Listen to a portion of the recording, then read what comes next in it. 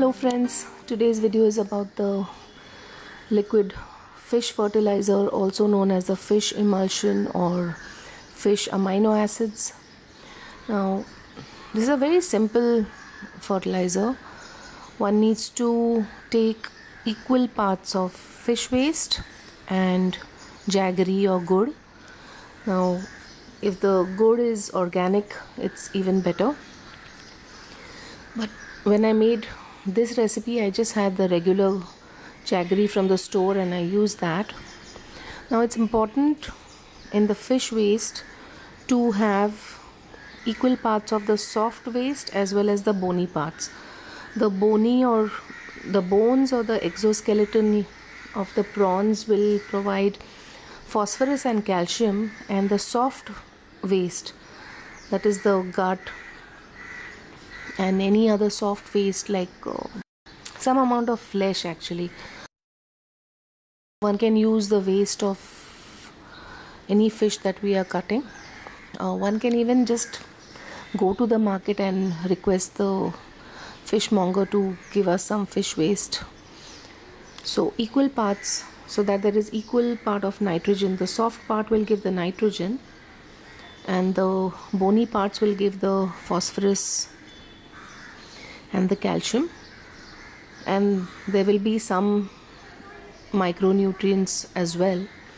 So one weighs both the things puts it into a container and shut the lid. And the lid needs to be opened every morning for at least a week so that the gases can come out. Otherwise the container could burst initially when i filled this container it didn't fill even one third so if that happens it's not a problem. One can add the same thing again like equal parts of the fish waste and the jaggery and can fill up the container till at least three fourth not more than that because you need to give some room for the gases to collect and then we open the container in the morning for the gases to release and this has to be done for 7 to 10 days the opening of the lid. And after that one can just leave it alone in a cool dark place. The recipe shared by Suzanne she mentioned that it will be ready in around 6 to 8 weeks.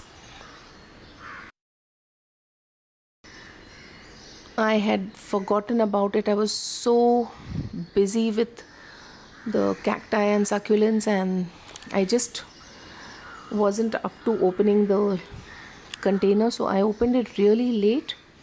And you can see that it's a really rich dark liquid. What I would like to do is to get this analyzed by a laboratory so that I know for sure what is the nitrogen, what is the phosphorus, what is the calcium, so that I can decide on the dilution factor. Right now, I'm just guessing and adding, and uh, I don't like to do it this way. I like to know the uh, proportions and what is going into the feed for the plant. I don't know the dilution factor as yet. Whereas when I had used my Alaska fish emulsion, uh, they have specific instructions on the bottle. So if somebody knows where I can get this tested in Mumbai, please do let me know in the comments. This fertilizer has nitrogen, phosphorus and calcium. The only thing missing in this would be the potassium and this can be done either by using wood ash from the bakeries or if one is making a banana peel fertilizer. So then this would be like an almost free fertilizer except for the jaggery cost uh, complete with N, P, K and trace elements and minerals. And this is especially helpful when one has small containers and we don't have space to add in more potting mix or soil or whatever it is that one is using. Uh, the container is already full so then it's really really helpful to have a liquid fertilizer which is free of cost. Now the alaska fertilizer that i used last year i got it from the us but if you try to buy it from here it works out to be pretty expensive. But really for me all my chili containers last year I had fantastic success with the liquid fertilizers so this is something that I want to do. Use a very inexpensive liquid fertilizer that we can make easily. Uh, not only is it useful for the smaller containers see uh, a lot of people have a lot of pots on their terrace gardens. Now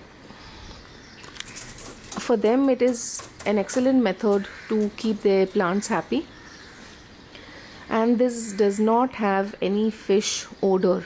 Even on the second day when you open the lid there is no fish smell which really surprised me. It kind of becomes like a pickle and there is no offensive smell at all. There is a very faint distinct odor. Not i wouldn't call it odor. It's okay something has been used but it is definitely not fish. It is not a rotting fish smell at all. And i'm using it in my garden which is part of my living room. So really i have no issues with this. It's a great one to try. Do try and let me know how it works. And happy gardening everyone